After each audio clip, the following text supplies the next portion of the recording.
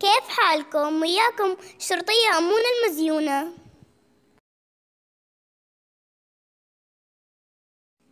سمعت إنه عندكم ولد صغير ما يبي يسمع الكلام. ما ينتبه لدراسته بعد. عطني إياه أبى أتكلم معاه. حالك؟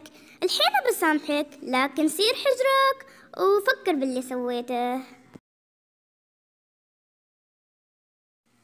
خلاص ولدكم الحين حكيت معاه وصار يسمع الكلام.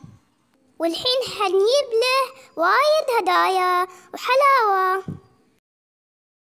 سيف علي جيب الهدايا وخلنا نروح لبيت الولد